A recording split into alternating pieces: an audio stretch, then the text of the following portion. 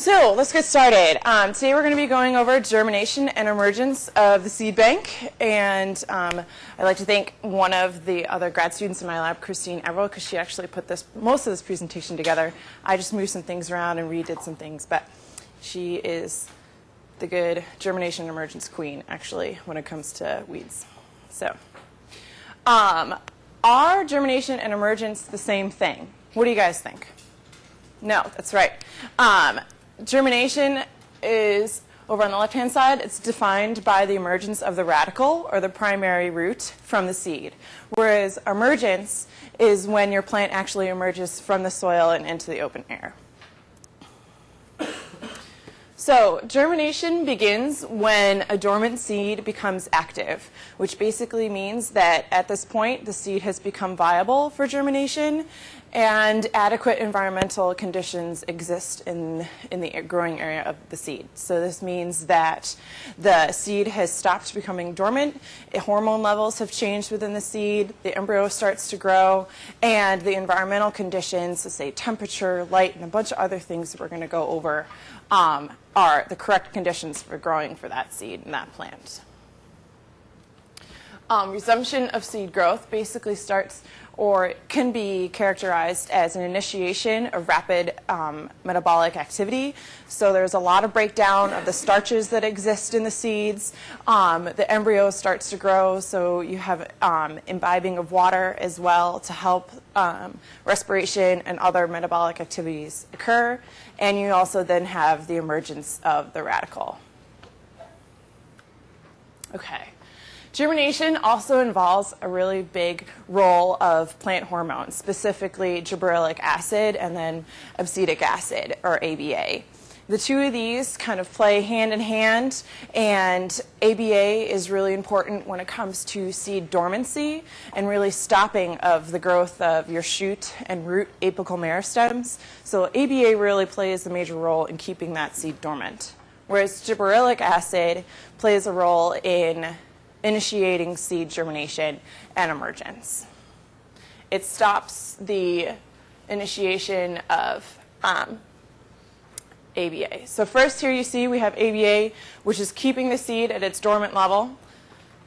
Then when conditions occur and environmental conditions get right for germination to start um, happening, GA will become heightened in levels and will inhibit the action of ABA.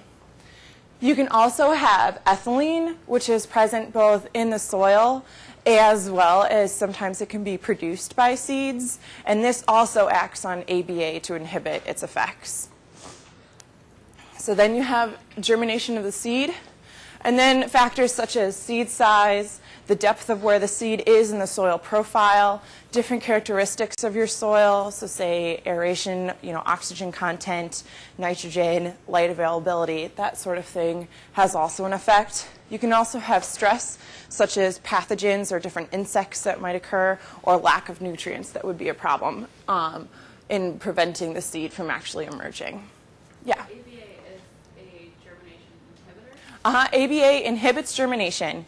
It stops the growth of your shoot apical meristem and your root apical meristem within the embryo of the seed. Whereas gibberellic acid, or GA, is a germination promoter. Any other questions before we move on? And, and GA works by inhibiting the ABA? Uh-huh, yep. It also works by um, promoting the breakdown of the different starches within the endosperm of your seed. So once the breakdown of those starches begin, they can be then be used for respiration and used for metabolic activities. Okay. Then after you've had germination, your next step, of course, is emergence. And there's three different types of emergence. First, you can have hypogeal, where your cotyledon, or your primary leaf, remains underneath the soil surface. This is very common in the grasses, as we were seeing last week, as well as Fabaceae families, so any legumes and peas and stuff like that. So generally what will happen is that you can see here that this could be your um, cotyledon or your primary leaf, and this basically would be the soil line right here. You then have your emergence of your coleoptile, which is your primary, your first, um, it's not the primary leaf, but it's the first shoot um, apical meristem, or basically first leaf structure that is going to appear out of the soil. And from the coleoptile, you'll then have the primary leaf, which is develops right here. And just know that in Poaceae specifically, the oldest part of the plant is at the tip, and the newest part is at the base of the soil, or the growing meristem part. So how do you guys think that hypogeal growth would be beneficial for these types of weeds? Anybody? Yep, that is a possibility. What also might be a benefit of having the coleoptile underneath the soil? So your coleoptile, remember, is your um, primary leaf structure, or your, your basically your first shoot meristem. Yeah.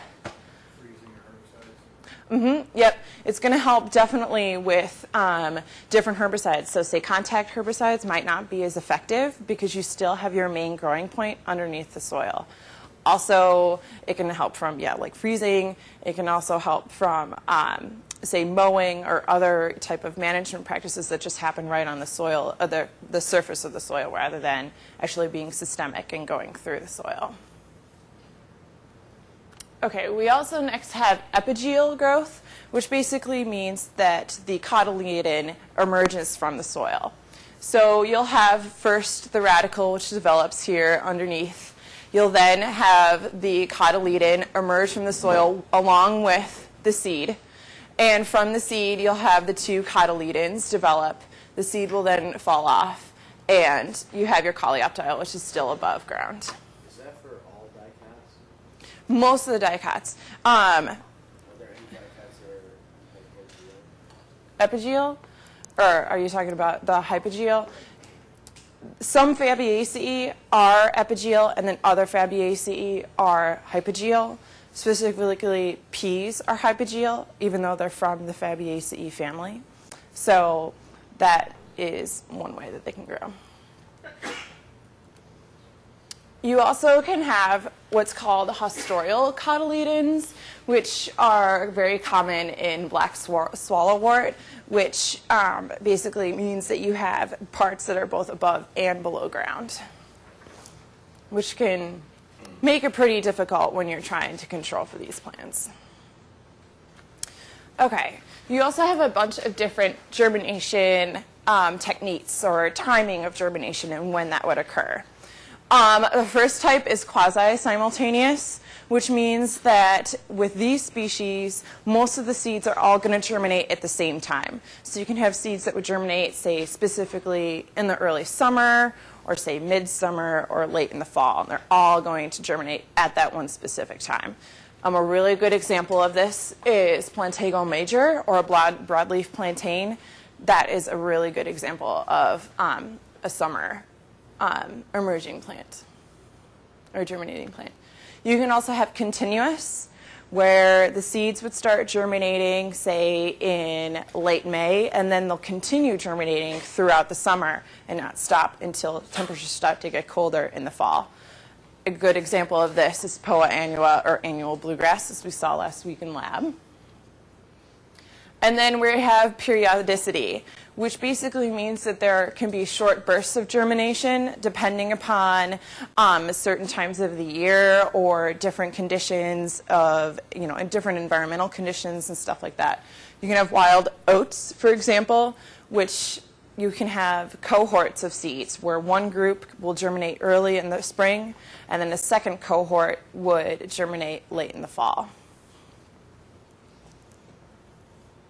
So here are some examples. This graph is really nice because it kind of gives an example of how the three different types of germination can occur in terms of timing. Here we have periodicity with wild oat, where you have this one big, huge group that germinates early in the spring, and then a second one that germinates late in the fall, so right about right now. You can have continuous, which is shepherd's purse or Capsella bursa uh, pastoris, which it basically starts in the early spring and will be continuous throughout the entire growing season. Then we have the quasi-simultaneous, where there's a big spurt here in the mid or beginning of summer, but then it kind of fades off to the end. Stephanie, is the, is the second distinct Uh-huh. Yeah, so in wild oat here, you're gonna. This is your first cohort, or, and then the second group over here would be a second cohort. So they're part of two different, um, not necessarily like families of seeds or just group of seeds. So you have one group that would germinate early in the spring, and then a second group that would germinate in the fall. And that second cohort is basically all those seeds are the same age. So most probably they're seeds that were produced by the first cohort early in the season. Does that make sense to everybody? Cool. Okay. This can be really important in timing of emergence and timing of germination when it comes to the planting of your crop and how you also you're going to manage your soil and manage your um, weeds throughout the season. So here, examples, we have a bunch of different groups of common weeds that would be germinating at different times as compared to when you're planting your crop. So weeds that would be occurring before you before you start planting your crop here would be groups one and two, or even zero if they happened early in the previous fall. So a big example is quackgrass and wild oats as well, and some dandelion and lamb's quarters. At the same time as your crop is being planted, you have other things such as giant foxtail, some cocklebur, um, as well as barnyard grass that are all going to come up at the same time. And then you have ones that you need to control for after your crop has emerged or after your crop has been planted. So you need to start thinking about crabgrass, witchgrass, and different and fall panicum and other things like that. Okay, let's move on to a safe site concept. So this is basically um, just an example of looking at environmental conditions and how um, environmental conditions can create areas of where it would be favorable for germination and emergence. So first off, you have dormancy breaking stimuli. This can be things such as um, the temperature is correct, you've had, say, a, either a cold period or you've had a warm period, which will allow the seed to germinate. You have enough light, which is necessary for um, the seed to capture in order to initiate growth. And you also can have things such as chemicals that might be within the soil that they might imbibe when they're imbibing water, or you might have, say, something like scarification, which is the mechanical breaking of the seed coat, which then allows the seed to imbibe water or other nutrients and stuff like that. You have, like I said, environmental conditions, so things like light, temperature, moisture, which are favorable, as well as different resources for growth. So when all of these conditions are favorable for the seed, that is what you would call a safe site for the seed to grow. You also then have absence of hazards, such as different insects or diseases that might be affecting the seed, and you have physical placement or a physical gap. So this refers to the orientation of the seed within the soil, as well as where the seed is in terms of its neighbors and if it has actual room for it to grow. Um, you can also have, as we saw last week in lab, specialized seed structures. So with the example of the wild oat, we had the awns, which when it came in contact with water, as a lot of you guys saw, it started spinning and orienting the seed to go down into the soil. Did everybody see that in lab, or were most of you guys able to witness that? It was pretty cool. Okay, so this is a study that kind of looked at re, um, relating back to seed orientation and how that's important. Um, and it looked at dandelion or Taraxacum officinale as well as annual sow thistle or Sonchus oleraceus. And basically what they did here was they had several different um, orientation patterns on the soil. Some of them were laid on top of the soil, others were buried underneath. And then they changed the orientation of where the seed was located. So was it upright or was it upside down? Was it on its side? That sort of thing. And as you can see, then they looked at the percentage of germination or how good was the success rate of these seeds germinating. And as you can see, the best situations were when it was planted, at least for dandelion, on it, when it was planted either on its side, at the soil surface, or when it was planted basically completely upright. So you had an upright orientation of the seed planted at the middle of the um, soil level. Places where it didn't work too terribly well was when it was placed upside down. So you had, say, the crown was facing upwards instead of into the soil. And other times also didn't do so great when it just was buried pretty deep underneath the soil. Same kind of thing happened here with the annual sow thistle. It did really well when it was planted either on its side or at an angle on top of the soil, or if it was exactly for this situation, if it was planted deep.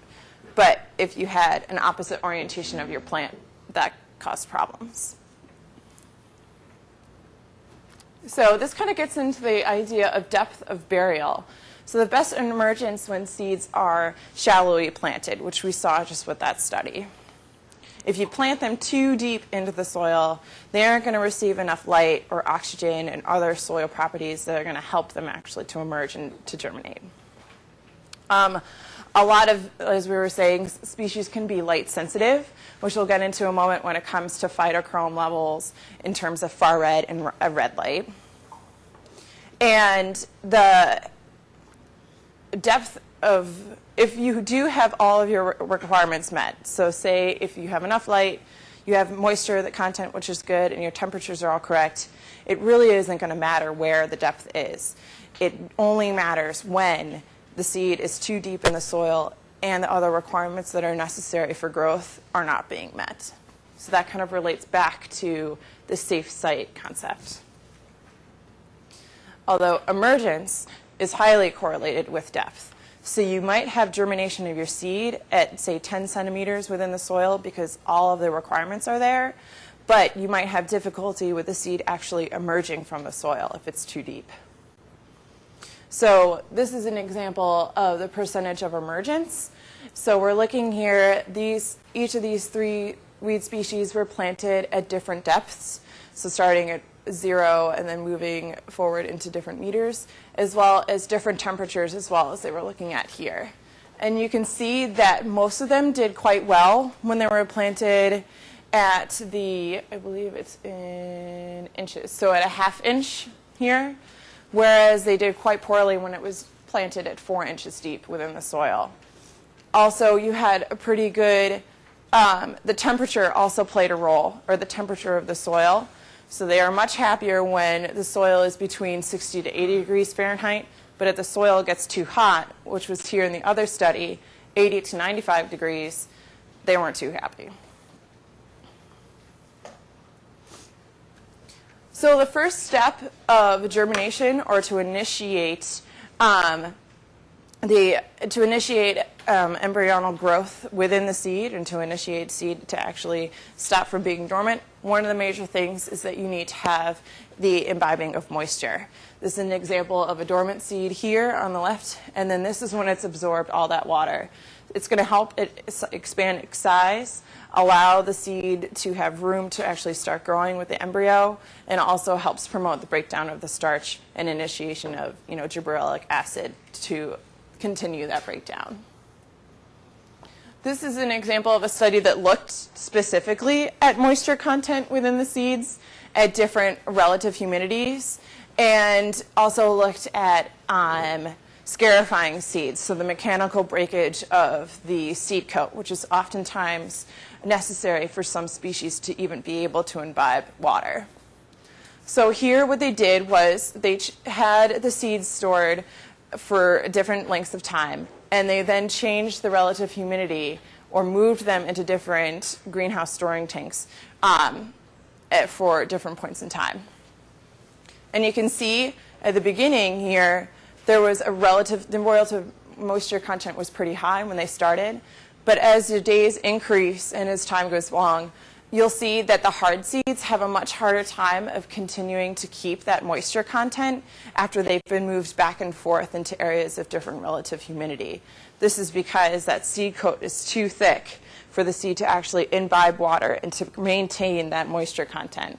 Whereas the scarified seeds have a much easier time of when they're moved from a 30% relative humidity back to the 70%, despite whatever long time that it's gone from being scarified, it still is able to imbibe water.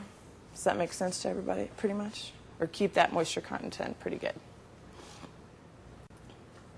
Okay, let's move on to temperature. So, what do you guys have to think about temperature? What do you guys, why do you think temperature might be important? Anybody? Sure. Speeds up the rate of reaction. Yep, exactly. If you don't have a temperature that is too cold or you have a temperature that's too hot, enzymes are not going to be working properly. It's not going to be breaking down starch or promoting growth in the processes that you would want your seed to be doing so. So there's definitely a minimum and a maximum as well as an optimum temperature growth requirements for each species. Um, you can also have alternating temperature requirements. So you have um, a fluctuation within the day, of course. Temperatures that are colder in the morning, you know, you get to your high temperature throughout the day, and then it goes back to cold in the night. That also is going to have an effect on when your, your seed germinates and emerges, as well as whether or not those optimum temperatures are actually being reached throughout the day.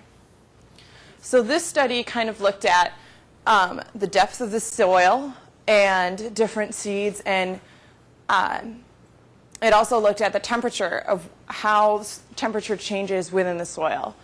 So here we were looking at, they took several different measurements throughout the, the day, starting with 6 o'clock in the morning, then 8, noon, and then later on in the afternoon.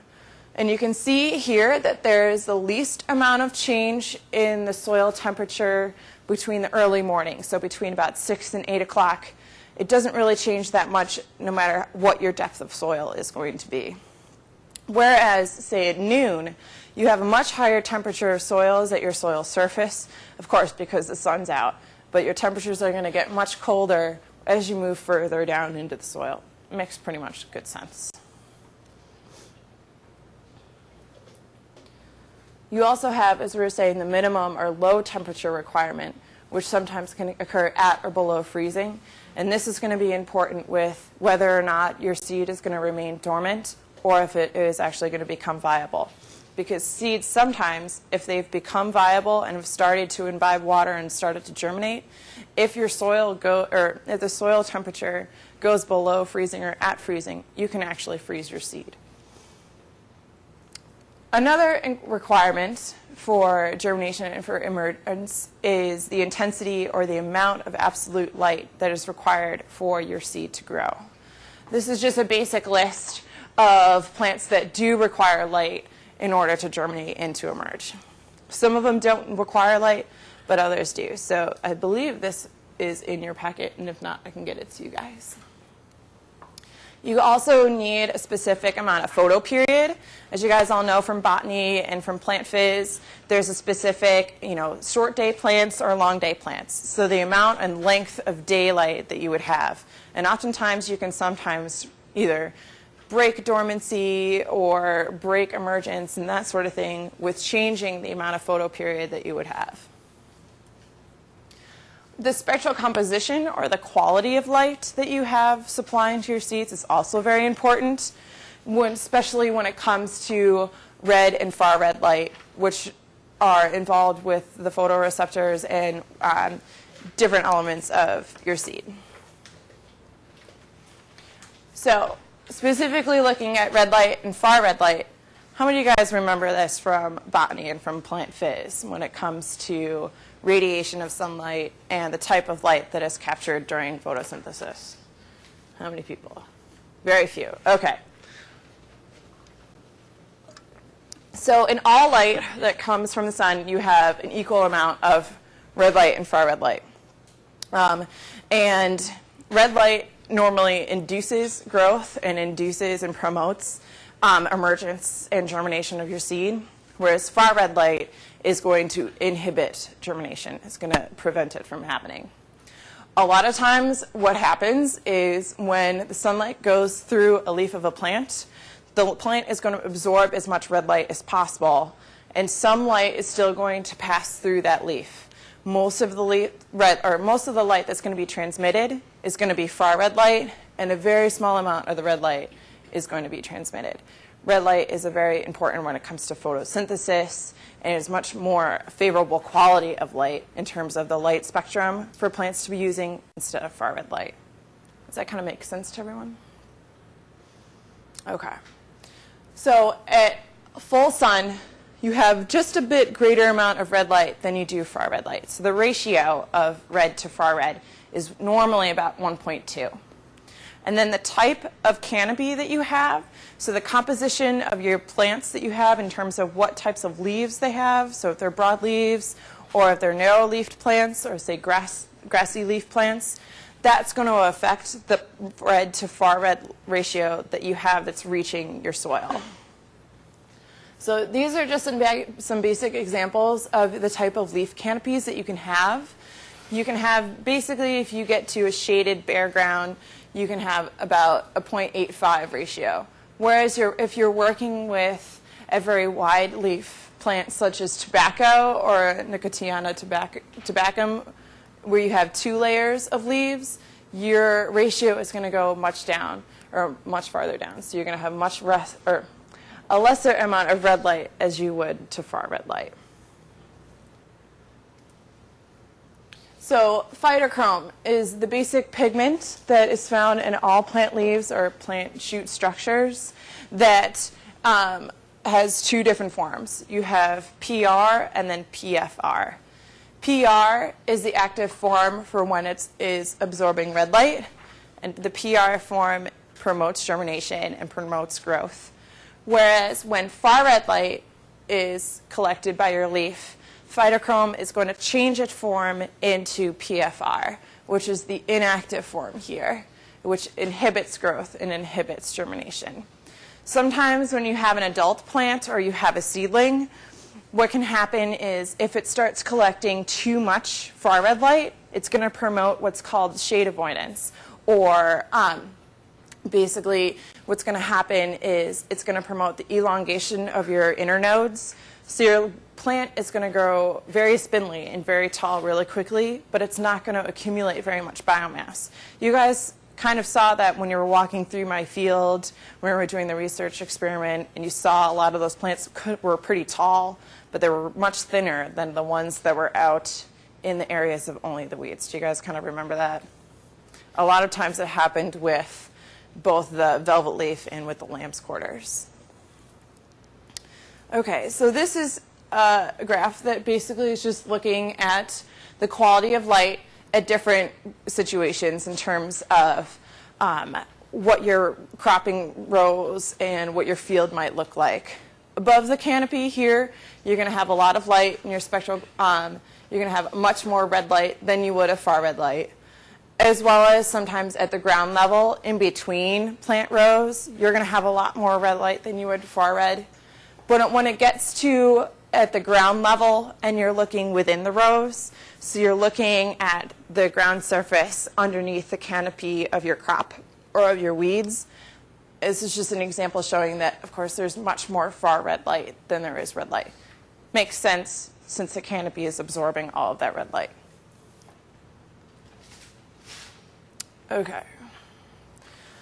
This experiment here looked at a bunch of different weed species, and then they grew them at, or planted the seeds and tried to see how many would germinate at different growing situations.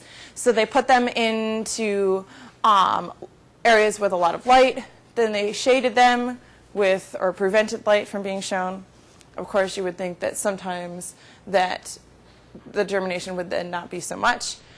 And then they then shaded them with banana leaves. Banana leaves, as you guys know, are pretty big. They're pretty wide as well. Um, and then they also shaded them with some paper or just a neutral paper source, so you know, just using some printer paper. All of these treatments got light to start with. So, um, and then they were then put into the different treatments here with the dark, the banana leaf, or the other leaves too. And you can see how different each of the species are in terms of their percentage germination based upon what is the different treatments. So what are you guys seeing here? Anybody? What is it look what does the pattern seem to be showing or what can we see from some of these? Taking a look maybe at the light treatment and then looking at the germination rates here in the banana leaf? Most don't uh, germinate in dark or very shaded conditions. Yeah. Why do you think that would be? It's not favorable for them because they won't get concern. What about in relation to, say, red light and far light, or far red light quality? How do you think that might change? Question, sorry? They're getting more far red light. Yep. Mm-hmm. Exactly. Okay. This is actually kind of going over the same thing. I think we've bashed this concept into the ground, but I think you guys all kind of understand that differences in far red to red light as you move closer to the ground and as you move through the canopy. Does that make sense to everybody? Great. Okay, what happens if you don't have any light, as we kind of saw in that experiment just a moment ago? Because we all know that light is required for most species, or many species, to germinate. What do you guys think would happen? Uh, there are some species where absence of light promotes germination, so the seed needs to be deep enough in the soil for there to be no light so that they will know that it's in the right conditions to germinate. Yeah, exactly. You can also, um, if for species that do require light, sometimes night cultivation or night tillage might be helpful. Um, there have been experiments that have looked at different sizes of seeds and different weed species and how effective this is. And sometimes farmers will go out, say if it's really cloudy during the day, or they might actually go right out at night, and if there's not en- you know enough moonlight. Um, I think, and I have to double check on this, but I think what they found was that weed seeds that are smaller in size are um, much more susceptible to night tillage. So if you bring them up to the soil surface, let them desiccate, they won't, they won't germinate. Whereas larger size seeds, so say velvet leaf or I believe barnyard grass, um, they were still able to germinate when you still brought them up to the soil surface. So I'll look on that and I'll send you guys the paper because I have it and I just didn't have time to put it in there. Um, so, like we were saying, reduction of smaller weed seeds when it comes to night tillage. So, good examples are lamb's quarters, pigweed, ragweed, and black nightshade. Okay, moving on to oxygen. So, all plants require oxygen in small amounts, at least to germinate. Why do you guys think this might be? Think maybe back to Bio 101 or Bio 109 when it comes to respiration. Yeah. They, use the oxygen for getting the, the energy before they have sunlight available for for emergence. Yeah, exactly. So most species, the, the amount varies, but they need between about 21 to 50 percent oxygen within the soil. We're getting there, guys. Don't you worry. It might be a little boring, but we're getting through it. okay, the higher amount of O2 that you have within your soil, the increased amount of germination you're going to have. Makes sense. Okay, and as we all know, some soils can vary between their oxygen and their carbon dioxide content. Yep. How would you ever get fifty-three percent oxygen in the soil? Um, this could be, I believe, with very well aerated soils, like really sandy soils. The air in the atmosphere is only twenty percent oxygen, or twenty-one percent. That's a good question. I'll have to ask Tony on that. Because I thought in soils you usually get about ten percent oxygen in, in even a well aerated soil. You know what? I will check on that because I'm not really too sure. So, good for bringing that up. okay, so what affects soil aeration and those O2 levels if we think that they might not be as high as we would like them to be? How can we change that? What can we do to aerate our soils? Tillage, Tillage, that's a good one. What else can we do? If you have really clay soils, you can amend that by adding more organic matter or adding more sand to your soil. Like we said, cultivation is really, really good. If you have really wet soils, that might be a problem. So, if you want to increase aeration, things that you would want to do are cultivation and, of course, adding sand. And soils that have a decreased amount of aeration are really clayey soils or waterlogged soils. Okay. Some other inhibitors and stimulators include, uh, include nitrate, which also promotes germination. Makes sense. All plants need nitrogen. You can have root exudates. So you can, these can either promote germination or they can inhibit germination. Um, a good example, do you guys know about, um, well, witchweed is a really good example. They host a lot of root exudates, um, and they need those exudates in order to germinate. Do you guys know the story with um, black walnut? That they exudate, they're really bad. Yeah, they exudate um, juglans or um, I can't exactly remember what the chemical is called, but um, it's related to black walnut and the root exudates that those give off promote or prevent any other species within a big, huge area. It's like I think three feet area or something, three meters or more um, from anything else germinating. And a weed that we will learn in class, Tree of Heaven, also does the same thing. And seedling density, as we all know, is really important. Okay, as we talked earlier, when it comes to scarification, seed coats and the compounds that are within those seed coats um, are going to prevent germination or promote germination. And sometimes these compounds that are within the seed coat need to be eroded or taken away or leached away so that germination can occur.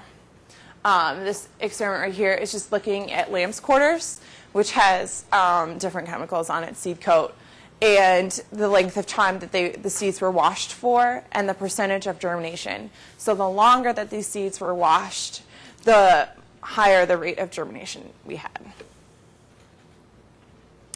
Okay, so then taking temperature, nitrate, and light into consideration, um, different treatments were created here with different amounts of temperatures, water content, as well as different levels of nitrate that were added.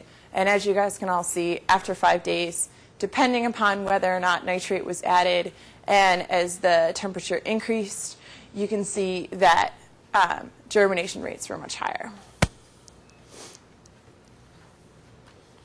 Okay.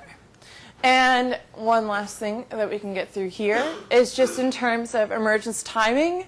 Some species need a really long time, as we were talking about when it comes to continuous emergence or continuous germination, um, as well as periodicity of germination and periodicity of emergence.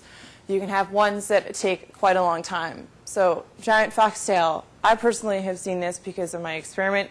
They are normally the last seeds that I would plant out there that would emerge from the soil. They generally, as you can see, can, if you planted them on May 15th, this experiment saw that at least two to almost three weeks later, that's when you finally reached most of your germination of your seeds. Whereas when it comes to things like velvet leaf, early on you have, um, well, actually, about two weeks later, you still have um, only 50% germination as well. Um, this can also occur or be important for when you are managing your soils. So if you have, um, if you plant your soybeans later than you normally would and control early on for weeds that would be occurring, you can have a really great reduction of the, your seeds because of that delaying in the emergence.